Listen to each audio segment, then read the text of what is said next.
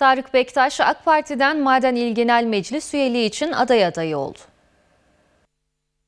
31 Mart yerel seçim için hazırlıklar Elazığ'da devam ederken aday adayları da belli olmaya başlıyor. Tarık Bektaş, AK Parti Maden İl Genel Meclis üyeliği için aday adayı oldu. AK Parti Maden İlçe Başkanı Yılmaz Kırtay, aday adayı Bektaş'a başarılar diledi. Tarık Bektaş il encümeni olarak partimize müracaat etmiş bulunmaktadır. Müracaatı kabul edilmiştir. Herhangi bir sorunu yoktur.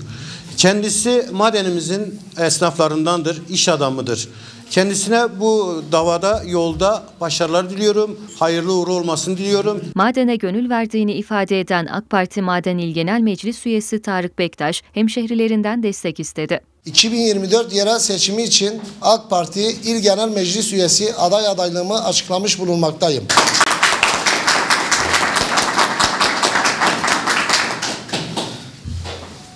Madene gönül vermiş bir kardeşiniz olarak çıktığım bu yolda siz değerli hemşerilerimi yanımda görmekten mutluluk duyarım.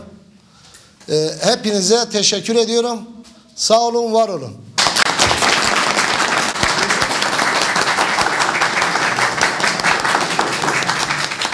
Resmi başvurusunu yapan aday adayı Bektaş, daha sonra partililerle selamlaştı.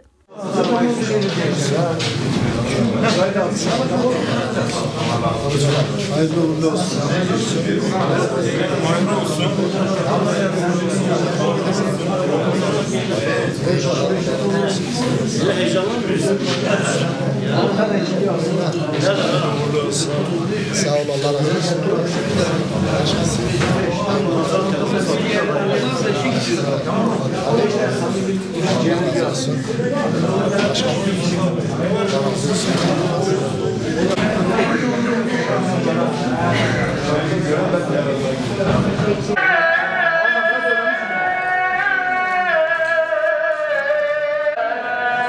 Siz değerli hemşerimin desteğini bekliyorum.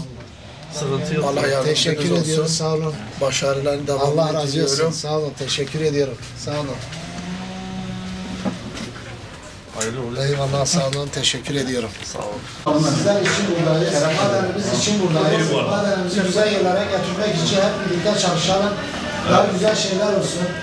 Madeni kalkındırmak için ne gerekiyorsa hep- herkes elimizi taşın yerine koyacaktır. Abi senin annen, baban, kardeşin hepsi de destek oluyor. Kardeşler destek oluyor. Biz niye savaşmadık abi? Genç bir kan lazım. Biz madeniyiz. Genç bir kan lazım. Biz canım. madeniyiz. Biz bakır madeniyiz. Madende ikametgah ediyoruz. Maden için ne gerekiyorsa yapacağız. Allah sen yapacağız.